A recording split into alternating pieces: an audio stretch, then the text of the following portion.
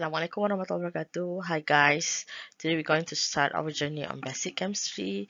This is chapter 1, unit of measurement. Alright. The next one uh, we're going to see is the lesson framework where you will know what are the topics that you will learn. And then the lesson outcome. So for this lesson outcome, this is what you'll be able uh, to do after you finish uh, this chapter. Okay, the first one is you know how to name and use the SI unit. And then you can determine the number of significant figures. And then you can do a simple mathematical operation that involving the significant figures. Then you can convert the measurement into a scientific notation and the SI prefix. And transform the statement of equality into a conversion factor and perform of conversion SI unit. So these are all the things that I hope that you'll be able to do after you finish this chapter. So the basic and derived unit. Chemists use International System of Unit or we call it as a SI unit for measurement. So here there are four dimensions for basic uh, basic unit. Uh, length, mass, time and temperature. Okay, so for length we use meter, mass kilogram, time is second and temperature is Kelvin. Even though there are few types of unit that are commonly used in chemistry. For example, in mass. Okay, mass kilogram is quite a heavy, uh, quite a higher number. So kita usually use gram instead of kilogram. And then for temperature, usually kita guna degree Celsius. Okay, tapi SI unit is Kelvin. Alright, and then the area, volume, and density. Okay, these three. These are the derived dimension. These are all coming from the basic dimension. Uh, so, the derivation daripada basic ni. So, area, of course kita tahu length times length. Okay. So it is a meter square for the SI unit. Volume, length time length time length. So meter cubic. And then density. Density simbol dia adalah D. Okay. Sometimes kalau you belajar fizik, simbol dia adalah raw. So this is uh, for SI unit, kilogram per cubic meter. Kilogram per cubic meter. Okay, that's all on basic and derived unit. So for prefix, prefix are used uh, in order to show or to indicate the decimal fraction of multiple values. For example, you use prefix when you have this type of number. Okay, let's say you have 2.14 times 10 power of 3 uh, meter. So when you have this number, you can use prefix uh, in order to create it or to make it in a decimal fraction. So you can use 2.14.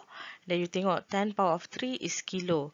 So kilometer. So kilo here means 10 of uh, power of 3. Okay.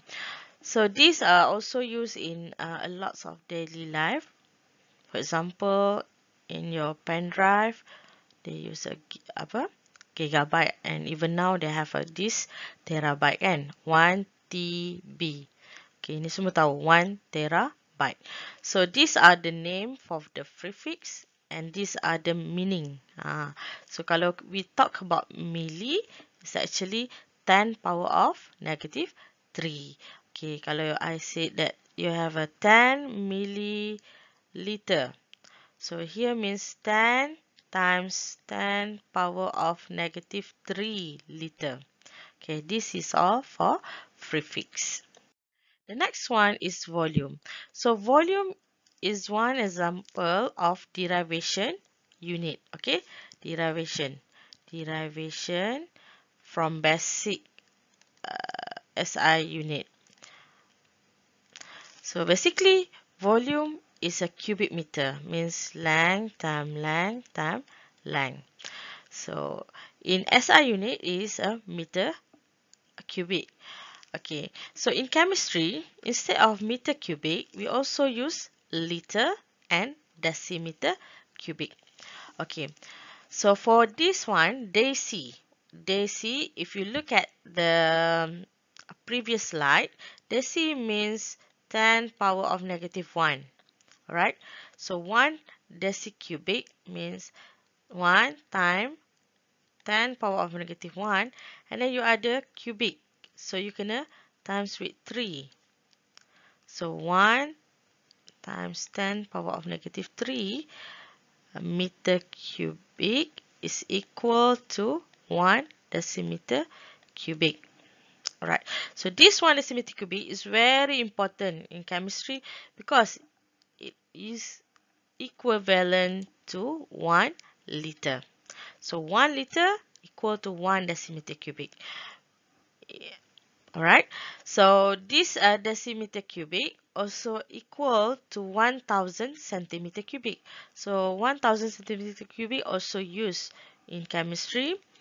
And what is equal to the centimeter cubic?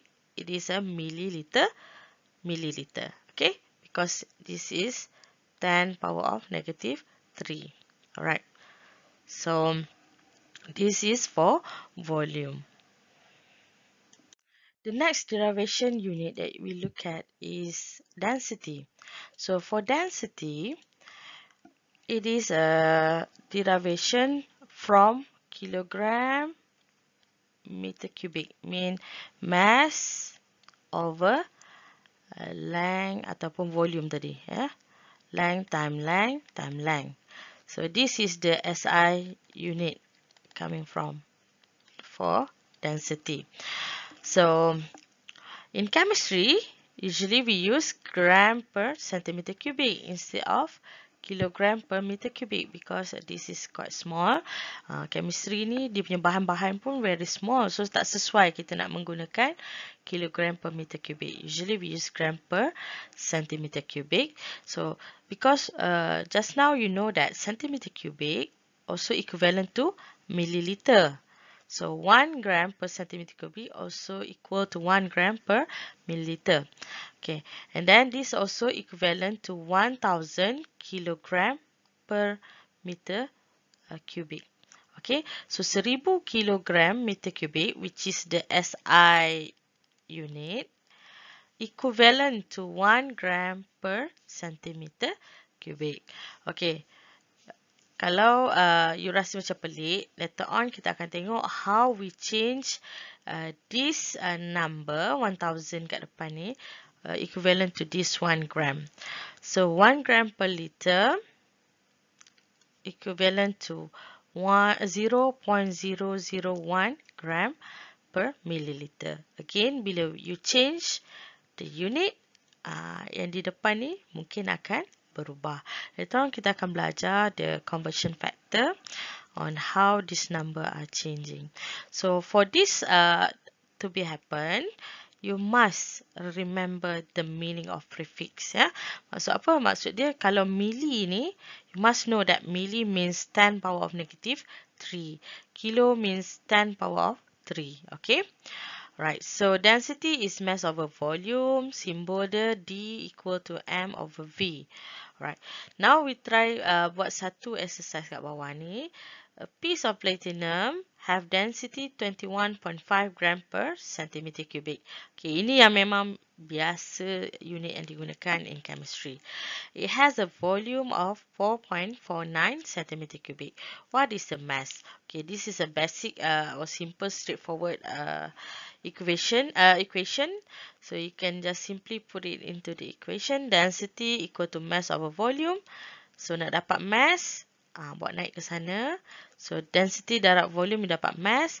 So density dia 21.5 gram per centimeter cube darab 4.49 centimeter cube. Nanti you dapat jawapan 96.5 gram. So this is uh, the basic one because satu you tengok the straightforward. Dia bagi density. Dia bagi volume. And the second one is not complicated as it be would be because the unit is same. Okay? You tengok centimeter cubic centimeter cubic. There are some problem that will require you to change the unit first before you can put it into the equation. Alright, The next one is temperature. Okay. So temperature is not a derivation unit. Temperature is a SI unit. But because in chemistry, usually use Kelvin and uh, Celsius. Okay. So these two are oftenly used. Okay. Kalau kita tengok kat thermometer kat uh, lab pun, kebanyakannya menggunakan degree Celsius compared to Kelvin scale. Even kita pun cakap kat Malaysia ni hot like uh, 35 degree Celsius. Okay. Uh, nowadays kita memang lagi lah alert about our temperature because of this COVID. Kita hari-hari duk cek suhu before we use uh, we go anywhere. So we use degree Celsius compared to Kelvin. It will be uh, pelik lah kan kalau kita tulis tu uh, berapa Kelvin. But you it is a good Uh, practice lah kalau you nak tiba-tiba tembak you punya dahi tu and then you tukar pula daripada degree Celsius yang dibagi tu kepada Kelvin kan? Ah okay. The Celsius scale is actually based on the properties of water. Okay 0 degree Celsius is the freezing point of water while 100 degree Celsius is the boiling point of water.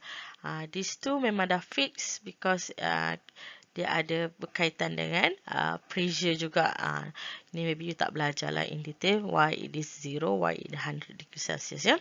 So the SI unit for temperature is Kelvin. Uh, for this Kelvin, it's actually based on the properties of gases. Kalau degree Celsius tadi water, Kelvin is gas. Okay. One thing you have to know that there are no negative Kelvin temperature. Okay. Kalau you kata ada tu, uh, something wrong lah tu ya. You datang daripada planet lain lah kot. Alright. So, another um, unit for Celsius, Kelvin. Okay. Another unit for temperature.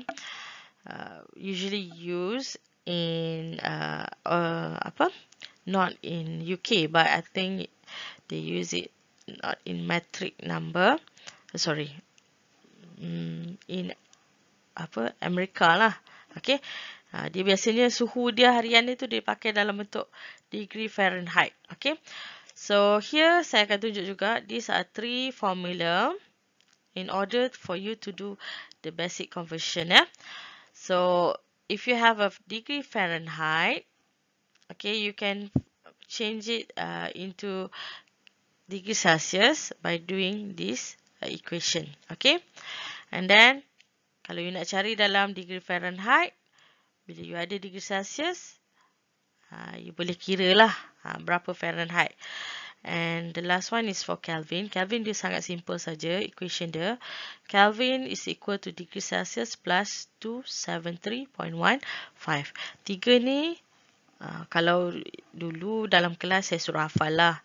Nowadays, maybe you belajar, you boleh tengok lah kan bila nak jawab soalan tu you boleh buat uh, notes lah. These are the formula that need to be used when you convert the temperature. Dia tak ada dah dia memang fix ya. So now kita try buat example. So convert the 172.9 degree Fahrenheit to degree Celsius. Okay. So you ada degree Fahrenheit to degree Celsius Okey, ini adalah unit. Uh, sorry, ini adalah equation. Uh, equation yang perlu dihafal bila kita nak convert unit ni. Alright. So, degree Fahrenheit darab uh, equal to 9 over 5 times degree Celsius plus 32. Okey, sekarang you ada degree Fahrenheit ni. So, maksud dia ini yang kita nak cari degree Celsius. So, kita kena rearrange this equation first thing first, you kena bawa n tambah 32 ni ke, ke belah kiri. So, degree Fahrenheit minus 32. Then you ada 9 over 5 ni. Again, send it to the left. So, dia akan terbalik jadi 5 over 9. You akan dapat degree Celsius. Okay. Make sure you finish first the uh, minus 32 ni. Eh? Step 1. Okay, so you ada 172.9. You ambil calculator now.